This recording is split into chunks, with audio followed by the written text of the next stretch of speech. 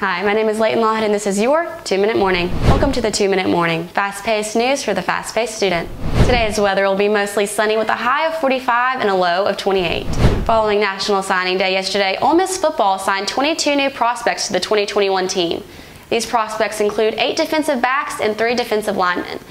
Head coach of the Rebels, Lane Kiffin, said the main focus going into the offseason was to improve the secondary and defensive front that lacked depth. The Rebels not only capitalized on defensive recruits, but also flipped four-star quarterback Luke Altmyer and four-star cornerback Marcavius Brown. Mr. Hamilton sent a reminder to students to stay home from school if experiencing COVID symptoms. The reminder listed symptoms such as fever, chills, and nausea as grounds for absence. As we near winter break, numbers here at OHS are rising, so be sure to stay safe and stay healthy.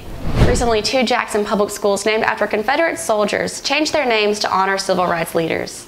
The schools were formerly named Robert E. Lee Elementary and Power Academic and Performing Arts. Both have changed their names following the recent call for civil improvement in Mississippi.